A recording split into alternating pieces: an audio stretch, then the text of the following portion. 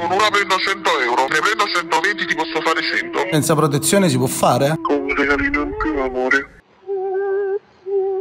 Ci sono ancora tantissimi siti che stanno sponsorizzando ancora la prostituzione. Vuoi pure venire a casa mia nel caso? Ma la sera posso raggiungere più tranquillo, evito.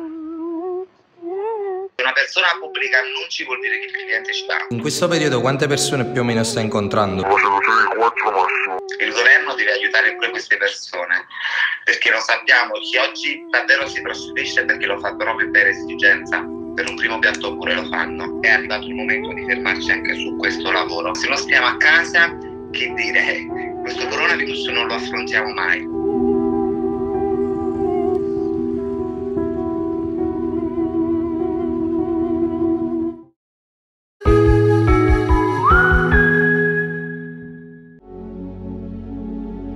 Questa è Napoli completamente deserta. Per combattere il coronavirus il governo ha disposto la quarantena in tutta Italia. Significa che nessuno esce di casa se non per un valido motivo. Anche la prostituzione sembra essersi fermata. Incontriamo infatti una sola ragazza a Corso Garibaldi.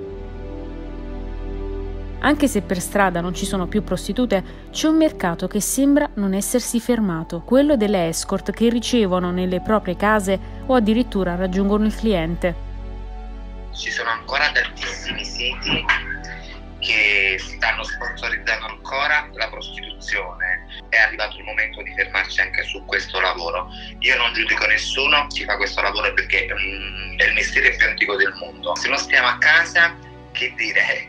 Questo coronavirus non lo affrontiamo mai. Ci sono tante mamme che stanno ancora lavorando e questa cosa mi fa tanto male perché rientrando a casa hanno i propri figli possono trasmettere questa malattia ai figli. Ma è vero che nonostante l'emergenza Covid-19 è possibile prendere appuntamento con una escort?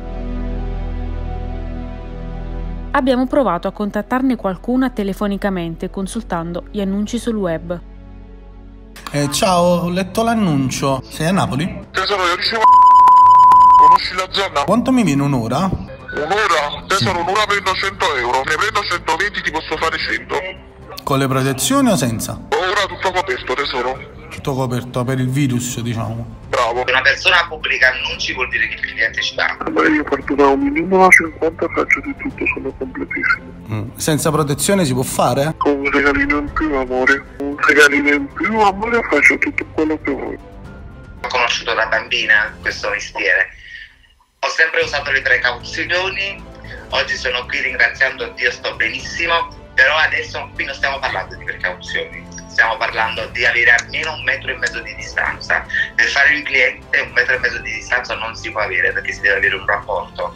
Avendo un rapporto si deve, si deve avere di tutto, penso che lo conosciamo il sesso, potrebbe essere anche un gioco, ma ci deve stare un legame fisico. E allora qui è il momento che dobbiamo fermarci. Se è vero che molte si prostituiscono per poter mangiare, i rischi collegati al coronavirus sono diversi, senza dimenticare che il decreto del governo impone di stare a casa. Il Covid al momento è una malattia che prevede altre vie di contagio, però chiaramente siamo di fronte a un virus di cui si conosce poco e certamente non si conosce tutto. Si frequenta un ambiente frequentato da più persone sconosciute frequentano tutte lo stesso ambiente, tutte la stessa persona e, e, e, non c'è sanificazione e soprattutto non c'è distanziamento sociale che prevede di stare a una certa distanza perché per fare certe cose non si può stare a un metro e 80 di, di distanza. Chi frequenta questo ambiente può contaminare, può contagiare anche la escort e a sua volta la escort può uh, uh, diventare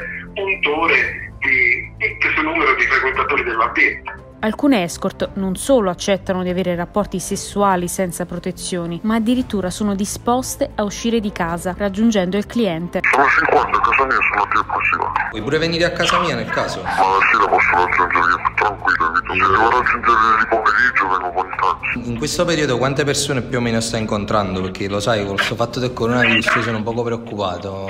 Io sto facendo 3-4 massimo. Io sono riuscita a cambiare vita e da poco lavoro in un supermercato come cassiera.